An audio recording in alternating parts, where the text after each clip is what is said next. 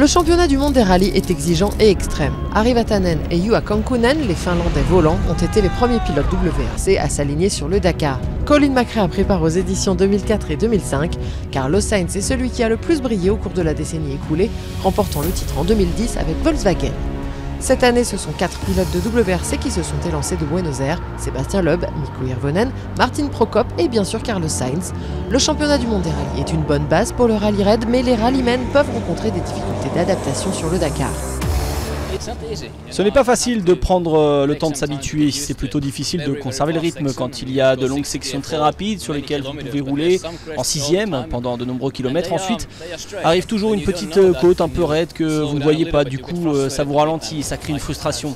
C'est la même chose pour tout le monde, il faut garder ça en tête, ralentir un peu et puis rester calme. Pour moi, le plus gros problème, c'est l'orientation. Conduire la voiture, ça va, elle est seulement plus lourde, elle n'est pas aussi puissante qu'en WRC, mais c'est tout de même une voiture. Le reste euh, est nouveau pour moi. Je dois essayer d'apprendre aussi vite que possible comment l'utiliser. Le non-nuple champion du monde des rallyes Sébastien Loeb fait face aux mêmes difficultés que ses camarades.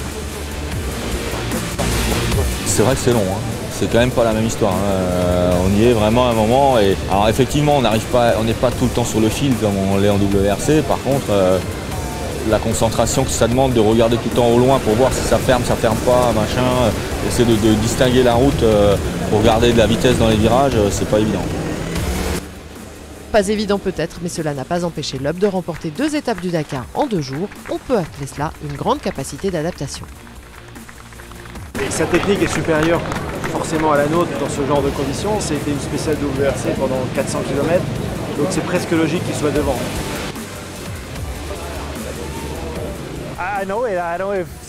Ceux qui pensent le contraire ont tort.